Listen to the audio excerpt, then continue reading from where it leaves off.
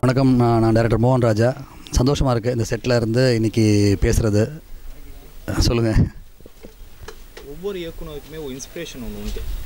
நம்ம பார்த்த மன மனிதர்கள் நம்ம பார்த்த சம்பவம் நான் பார்த்த விஷயங்கள் எல்லாமே இந்த கதை அதாவது வேலைக்காரன் கதை எதோட இன்ஸ்பிரேஷன் சார் இந்த கதையை வந்து நான் ஏற்கனவே சொன்ன மாதிரி ஒரு இருபது வருஷமாக என் மனசுக்குள்ளே இருந்துட்ட ஒரு கேள்வி தான் இந்த ஒர்க்கர் கன்சியூமர் அப்படிங்கிற விஷயம் அது வந்து என்னென்னாக்கா ஏதோ ஒன்று வேலைங்கிற பேரில் சின்ன சின்ன தவறுகளை நம்ம வந்து ஈஸியாக செஞ்சுட்டு போகிறோம் அது வந்து நம்ம எல்லாருமே வந்து ரொம்ப ரொம்ப நல்லவங்க. அந்த நல்லவங்களாக இருக்கிறவங்க வந்து குற்றம் ஒன்று செஞ்சோம்னா நம்மளை அந்த குட் மனசாட்சி சும்மா விடாது நம்மளை. கண்டிப்பாக வந்து ஒரு கேள்வி கேட்கும். ஏதோ ஒன்று வந்து அட்லீஸ்ட் வெளியே புறணியாவது பேச வைக்கும் நம்மளை. என்னப்பா இப்படி பண்ண இப்படி செய்ய வைக்கிறாங்கப்பா இது பண்ண வைக்கிறாங்கப்பா செய் அது தப்பு செய் அப்படின்னு ஏதோ சொல்லாத வைக்கும். ஆனால் அதற்கு வேலைங்கிற ஒரு சாயத்தை சின்ன சின்ன தவறுகளுக்கு பூசும்போது நம்ம அதை வந்து நம்ம வேலை தானே செய்கிறோம் அப்படின்னு எடுத்துகிட்டு அந்த ஒரு மழுப்பலாக போகிறதுங்கிறது ஒரு இருபது வருஷமாக ஏன் இப்படி நடக்குதுங்கிற ஒரு கேள்வி இப்போ வந்தப்போ அது விசுவாசங்கிற ஒரு விஷயத்தை யார் மேலே காட்டணுங்கிற ஒரு தெளிவின்மை தான் அது காரணங்கிறத நான் வந்து ஒரு இருபது வருஷமாக மனசில் போயிட்டு இருக்கிற ஒரு- எண்ணம் அது. அதுக்கு தான் நான் திரைக்கதை அமைச்சேன். இந்த முழு திரைக்கதையை அதுக்கு தான் ஆரம்பித்தேன் நான்.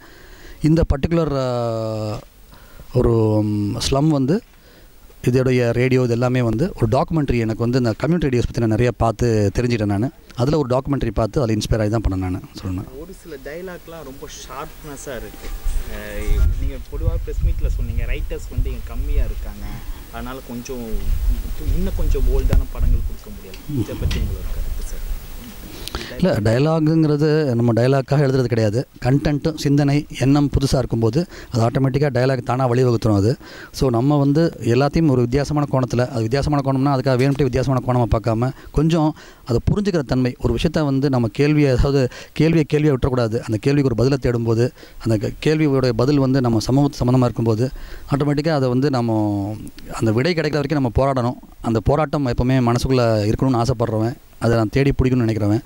ஆட்டோமேட்டிக்காக ஒரு பிரச்சனையை வந்து நாம் ஒரு இன்றைக்கி நான் அதை முதலே சொல்லியிருக்கேன் நான் என்னென்னா மற்றவங்களுக்கு வந்து ஒரு வேலை வந்து செய்கிற வேகத்தில் வந்து யோசிக்கிற நேரங்கள் குறைவாக இருக்குதுன்னு தான் மனசு வருவாது ஏன்னா வேலை வேலை வேலை வேலை பலு டார்கெட்டை அச்சீவ் பண்ணணும் வேலை இதோ அது எங்கேயுமே நிம்மதி இல்லை. எங்கேயுமே வந்து ஒரு இவ்வளோ எவ்வளோ சம்பாதிச்சாலும் பத்த மாட்டேங்குதுங்கிற அந்த தன்மையில் சந்தோஷமாக இருக்குது சினிமாவை தொழிலாக எடுத்துக்கிட்டு கதை சொல்வதை வந்து வேலையாக எடுத்துக்கிட்டு அதை வந்து செய்கிறது வந்து சந்தோஷமாக இருக்குது ஸோ எனக்கு நின்று நிதானமாக இந்த பிரச்சனைகள் எதனாலன்னு அலசக்கூடிய ஒரு ஒரு ஒரு பாக்கியம் வந்து கிடச்சிருன்னு சொல்லணும். ஸோ அதனால் அந்த அதையே வேலையை எடுத்து செய்யும்போது அழுத்தமான ஒரு பிரச்சனைகளை எடுத்து செய்யணும்னு ஒரு ஆசை.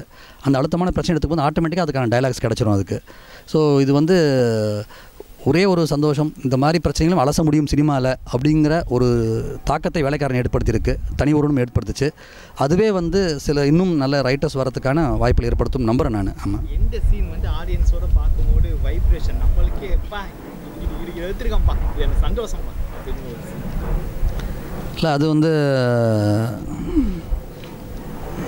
அது ஸ்டார்டிங் முதல் கிளாப் வந்ததுலேருந்தே ஆரம்பிச்சிருச்சு. அது வந்து எனக்கு சந்தோஷம் வந்து நான் வந்து ரோஹிணி அம்மாவுடைய சீன் அவங்க சீன் இருக்கு இல்லையா செகண்ட் ஆஃப் சீன் இருக்கு இல்லையா அந்த சீனுக்கு நான் லைஃப் லாங் சந்தோஷப்படுவேன். அப்படி ஒரு சீனை கன்சியூவ் பண்ணதுக்கு அது நான் எடுத்ததுக்கு நான் லைஃப் லாங் பெருமைப்பட்டு பண்ணேன் அவ்வளோ எனக்கு பிடிச்ச ஒரு சீன் அது. ஏன்னா இந்த ஒட்டுமொத்த கதையவே கனெக்ட் பண்ண ரோஹிணி மேடம் சொன்ன அந்த ஒரு ஒரு வீட்டு வேலை செய்கிற ஒரு பெண்மணியாக அவங்க சொன்ன விஷயம். அது வந்து நான் வார்த்தையை சொல்ல வார்த்தை இல்லை. அதே நேரத்தில் எல்லாத்தையுமே கொண்டாடினாங்க. ஆடியன்ஸ் வந்து ஒரு சின்ன சின்ன விஷயத்த கூட ரசித்தது எனக்கு அங்கேயே சந்தோஷமாயிடுச்சு எனக்கு. இன்னொன்று அந்த வீட்டுக்குள்ளே சாக்ஸ் பார்க்கும் போதெல்லாம் வந்து அடித்த கைத்தட்டல் வந்து உண்மையிலே ரொம்ப நன்றி. இதை தவிர ஒரு வார்த்தை இல்லை எனக்கு சொல்கிறதுக்கு ஆமாம் இந்த செட்டை பொறுத்த வரைக்கும் ஒரே பதப்பதப்பு தான். ஐயோ இவ நல்லா போட்டு கொடுத்துட்டாங்களே. அதெல்லாம் கவர் பண்ணிட்டோமா இல்லையா? டிஃப்ரெண்ட் பிளாக்ஸ் வைக்கணும். எல்லாத்தையும் எக்ஸ்ப்ளோர் பண்ணணுங்கிற அந்த ஒரு விஷயம்தான். இது எங்களுக்கு வந்து இன்றைக்கி இருக்க டெக்னாலஜி ஏரியல் ஷார்ட்ஸ் ரொம்ப ஹெல்ப் ஆச்சு எனக்கு. நிறைய வந்து நைட் எஃபெக்ட்ஸ் வந்து அச்சீவ் பண்ணது ரொம்ப சந்தோஷமாக இருந்தது. நைட் எஃபெக்ட் ரொம்ப சேலஞ்சிங்கான விஷயம் இந்த இடத்துல. அது ரொம்ப அழகாக பண்ணி கொடுத்தாங்க Ramji sir and then um, இந்த செட்டு வந்து சுற்றி இருக்கிற அந்த வீடு அமைப்புகள் ஒரு வீ ஊருக்குள்ளேயே போட முடிஞ்சதுனால அதுவும் பெரிய பெரிய ஹெல்ப் எங்களுக்கு. ஸோ ஒரு வித்தியாசமான அனுபவம் அது. குறிப்பாக வந்து அந்த அந்த மாதிரி சீன்ஸ்க்காக தான் அந்த வந்து செட்டு போடணும்னு அவசியப்பட்டதே வந்து அதுதான் ஆசைப்பட்டதும் சரி.